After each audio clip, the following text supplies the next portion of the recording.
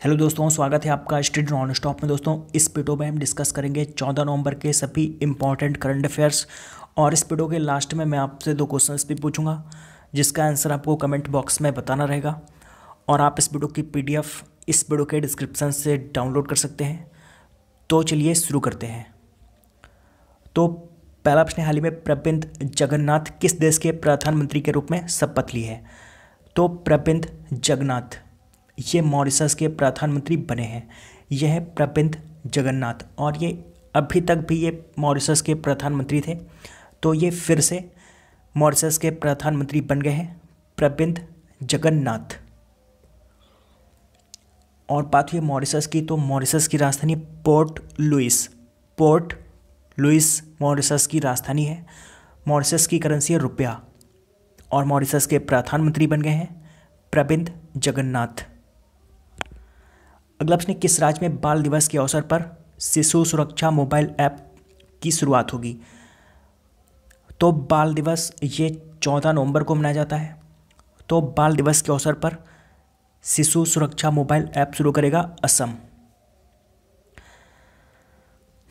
असम का बाल अधिकार संरक्षण आयोग बाल दिवस के अवसर पर शिशु सुरक्षा मोबाइल ऐप लॉन्च करेगा।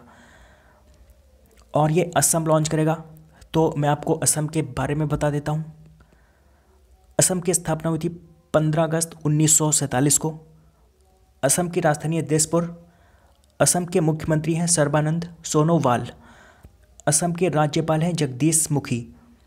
असम के प्रमुख राष्ट्रीय पार्क एवं वन्यजीव अभ्यारण्य हैं। असम में काजीरंगा राष्ट्रीय पार्क, मानस राष्ट्रीय पार्क और पोबितोरा वन्यजीव अभ्यारण्य। असम के प्रमुख लोक नृत्य हैं। बिहू, नटपूजा खेल गोपाल और कली गोपाल असम का प्रमुख मंदिर है कामाख्या मंदिर, जो कि असम के गुवाहाटी में स्थित है।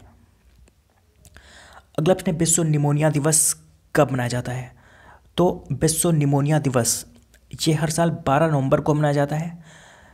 निमोनिया के उपचार और रोकथाम के बारे में जागरूकता पैदा करने के लिए हर साल 12 नवंबर को विश्व निमोनिया दिवस के रूप में मनाते हैं। निमोनिया ये लंग्स की बीमारी होती है तो कई बार एग्ज़ाम में पूछ लिया जाता है कि निमोनिया में शरीर का कौन सा अंग प्रभावित होता है। तो आप ध्यान रखिए, निमोनिया में लंग्स प्रभावित होते हैं। और ये जो इस बार विश्व निमोनिया दिवस बारह नवंबर को मनाया गया, इसकी थीम क्या है? तो इस बार की थीम है healthy lungs for all. Healthy lungs for all इस बार की थीम है। अगला प्रश्न, किस राज्य में स्थित सुरंगा बावड़ी को न्यूयॉर्क के एक गैर सरकारी संगठन द्वारा 2020 की विश्व स्मारकों की निगरानी सूची में रखा गया है? तो सुरंगा बावड़ी ये कर्नाटक में है। तो कर्नाटक के सुरंगा बावड़ी को न्यूयॉर्क के एक गैर सरकारी संगठन द्वारा 2020 की विश्व स्मारकों की निगरानी सूची में रखा गया है। न्यूयॉर्क का एक गैर सरकारी संगठन है, जिसका नाम है वर्ल्ड मॉन्यूमेंट्स फंड। तो न्यूयॉर्क के एक गैर सरकारी संगठन वर्ल्ड मॉन्यूमेंट्स फंड ने सुरंगा बावड़ी को 2000 की विश्व स्मारकों की निगरानी सूची में रखा है। सुरंगा बावड़ी, इसका निर्माण सोलहवीं शताब्दी में बीजापुर के आदिल शाही वंश के आदिल शाह फ़र्स्ट ने कराया था और इसका निर्माण कर्नाटक के विजयपुरा में पानी की आपूर्ति करने के लिए किया गया था।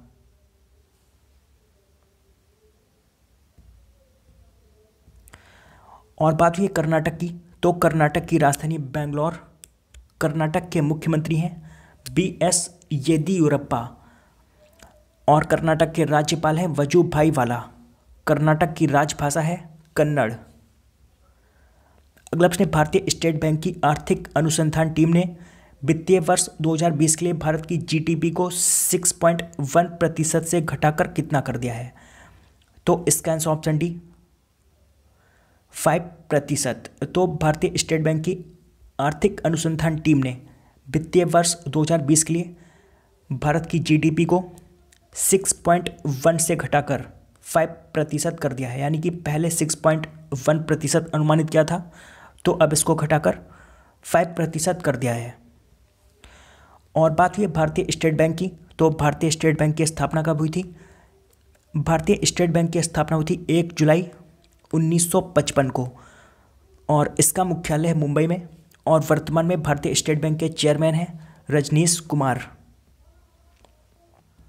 दोस्तों, ये प्रश्न यहाँ पर गलत लिखा हुआ है। लिखने में थोड़ी सी गलती हो गई है। यहाँ पर लिखा हुआ है कि बांग्लादेश में भारत के अगले उच्चायुक्त कौन होंगे? तो सही प्रश्न इस तरह से होगा कि भारत में बांग्लादेश के अगले उच्चायुक्त कौन होंगे? यानी कि यहाँ पर उल्टा लिखा हुआ है। यहाँ पर लिखा हुआ है कि बांग्लादेश में भारत के अगले उच्चायुक्त कौन होंगे? तो यहाँ पर सही प्रश्न इस तरह से बनेगा कि बांग्लादेश ने भारत में अपना अगला उच्चायुक्त किसे नियुक्त किया है? तो इसका सही आंसर ऑप्शन है मोहम्मद इमरान को। यह है मोहम्मद इमरान। तो बांग्लादेश ने मोहम्मद इमरान को भारत में अपना अगला उच्चायुक्त नियुक्त किया है। और बात हुई है बांग्लादेश की तो बांग्लादेश की राजधानी है ढाका। बांग्लादेश की करेंसी है टका, बांग्लादेश के राष्ट्रपति हैं अब्दुल हामिद और बांग्लादेश की प्रधानमंत्री हैं शेख हसीना।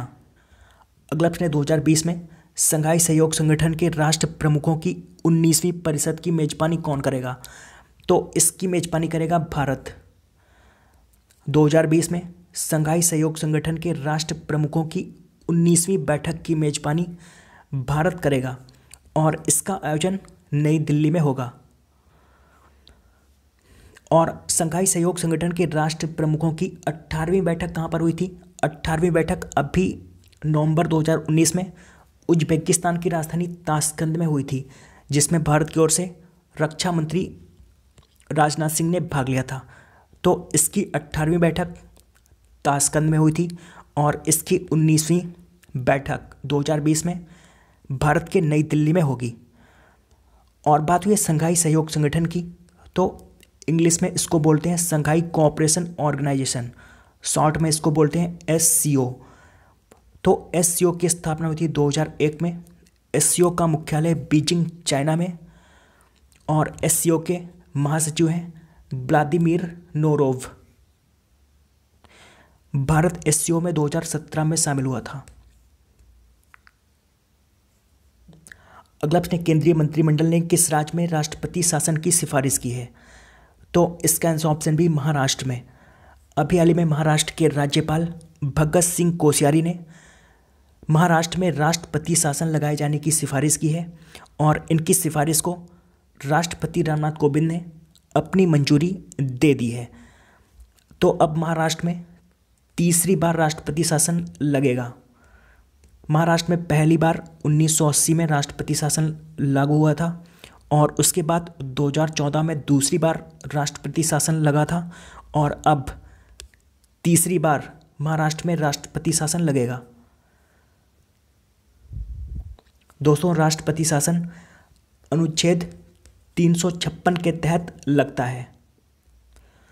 और बात हुई महाराष्ट्र की तो मैं आपको महाराष्ट्र के बारे में बता देता हूँ। महाराष्ट्र की स्थापना हुई थी एक मई 1960 को। और गुजरात की स्थापना भी एक मई 1960 को हुई थी। महाराष्ट्र की राजधानी है मुंबई। महाराष्ट्र के मुख्यमंत्री हैं देवेंद्र फडणवीस। महाराष्ट्र के रा... दोस्तों, देवेंद्र फडणवीस उन्होंने अभी हाल ही में इस्तीफ़ा दे दिया है तो अभी महाराष्ट्र का कोई भी राज्यपाल नहीं है। यहाँ पर ये पुराना लिखा हुआ है तो अभी महाराष्ट्र का कोई भी राज्यपाल, अभी महाराष्ट्र का कोई भी मुख्यमंत्री नहीं है। महाराष्ट्र के राज्यपाल है भगत सिंह कोश्यारी। महाराष्ट्र के प्रमुख लोक नृत्य हैं लावडी, तमाशा और नकटा। महाराष्ट्र के प्रमुख बाँध हैं महाराष्ट्र में जायकावाड़ी बाँध जायकावाड़ी बाँध। ये गोदावरी नदी पर बना हुआ है और महाराष्ट्र में कोयना बाँध कोयना बाँध। ये कोयना नदी पर बना हुआ है। महाराष्ट्र के प्रमुख राष्ट्रीय पार्क हैं महाराष्ट्र में संजय गांधी राष्ट्रीय पार्क, गोगामल राष्ट्रीय पार्क, चंदौली राष्ट्रीय पार्क, नौगांव राष्ट्रीय पार्क और तडोबा राष्ट्रीय पार्क। महाराष्ट्र की प्रमुख झीलें हैं। महाराष्ट्र में लोनार झील और रनकला झील। महाराष्ट्र में ज़िले हैं छत्तीस ज़िले। महाराष्ट्र के प्रमुख स्थान हैं। महाराष्ट्र में एलोरा गुफाएँ, Ajanta गुफाएँ, Gateway of India Bibi ka Maqbara Trimbakeshwar मंदिर और कान्हेरी गुफाएँ। अगला प्रश्न, देश के पहले हाथी स्मारक का अनावरण कहाँ किया गया? तो देश के पहले हाथी स्मारक का अनावरण किया गया है उत्तर प्रदेश के मथुरा में। और अभी कुछ महीने पहले मथुरा में हाथियों के लिए पहला जल चिकित्सालय भी खोला गया था। तो देश के पहले हाथी स्मारक का अनावरण मथुरा में किया गया है। दोस्तों, अब बात करते हैं कल के प्रश्नों की। तो कल मैंने आपसे पहला प्रश्न पूछा था, किस राज्य की सरकार ने डीजल से चलने वाले ऑटो रिक्शा पर प्रतिबंध लगा दिया है? तो इसका सही आंसर था बिहार ने। और दूसरा प्रश्न था, प्रत्येक वर्ष विधिक सेवा दिवस कब मनाया जाता है? तो इसका सही आंसर था नौ नवंबर को।